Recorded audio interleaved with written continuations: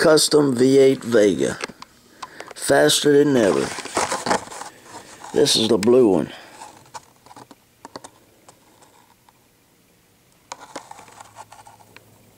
With red tinted wheels.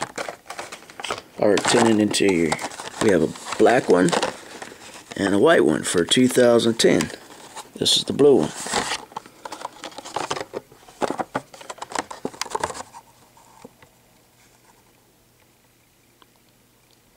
Groovy looking cord.